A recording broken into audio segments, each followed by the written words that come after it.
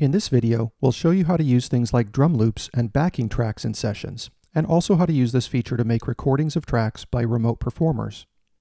Let's start with drum loops.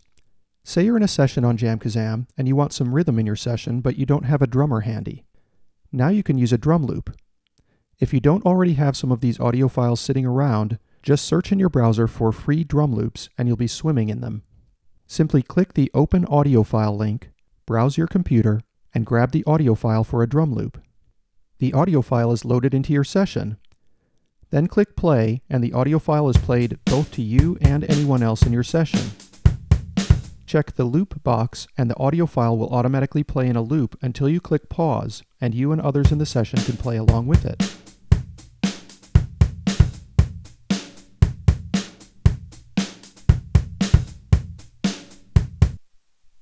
You can easily adjust the volume of the recorded audio track, just like any live track in the session, and this will adjust the volume of the track for you and everyone else.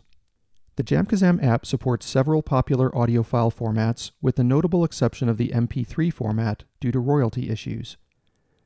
If you have audio files in an unsupported format, we'd recommend using one of a number of free audio file format converters, such as the free online converter service at media.io. You can work with other instrumental backing tracks in the same way. For example, let's open a blues keyboard backing track.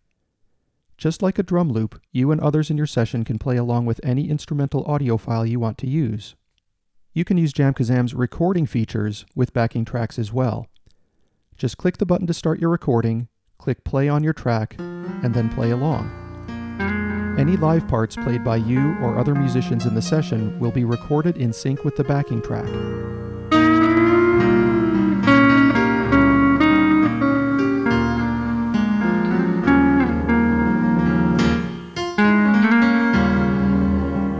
When you're done, stop the recording and save it. You'll have access to the master mix, as well as the isolated tracks of each live instrumental or vocal part that was played along with the backing track. As a side note, we've had various members of the community ask about making long distance recordings. This new feature makes this really easy.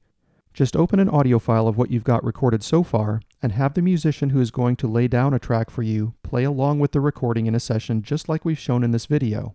Then export the isolated audio track of that musician's performance and bring it into your DAW to put it together with your other tracks. Even if the musician is so far away that there is high latency, it won't matter. For example, if the musician was playing with 50 milliseconds of latency, it's fine because he or she will be playing consistently 50 milliseconds behind the recording, but it will sound fine to the musician, and then you can just slide the track 50 milliseconds up in your DAW and it will be right in sync with your baseline recording.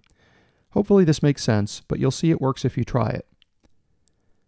Thanks for watching this video, and we hope it was helpful.